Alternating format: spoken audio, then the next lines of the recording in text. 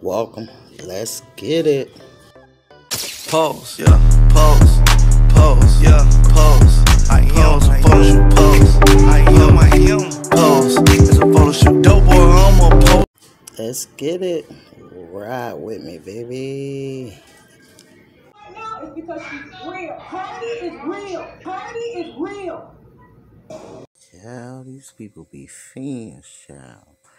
Now Joe Budden wanna start his stuff. But first, child, Star Marie finally speak. And yes, it's something wrong with her.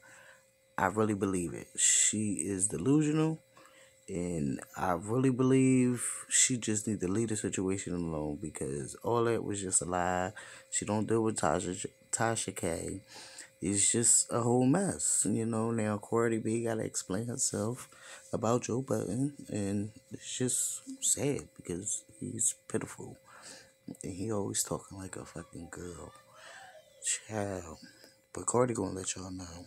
Okay? Remember to like, share, and subscribe. We all in it together. Turn it.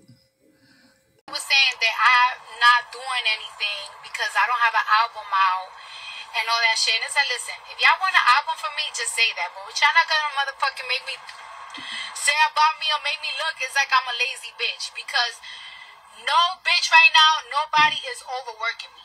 Nobody's overworking me. Right now, what I'm doing is is setting for my motherfucking future, so I won't have to motherfucking work hard, work, work as hard as I, as it comes, right? Like I don't know what the fuck. I don't like that shit. First thing first, let me tell you something, right? I have a lot of business ventures.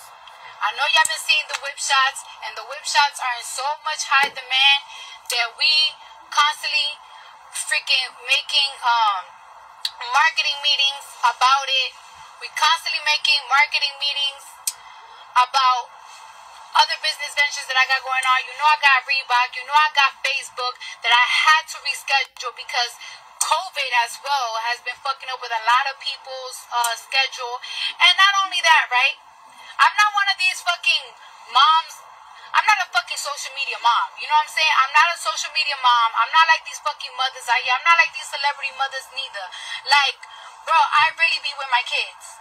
Okay, I really be with my kids and I really want to spend a lot of time with my kids.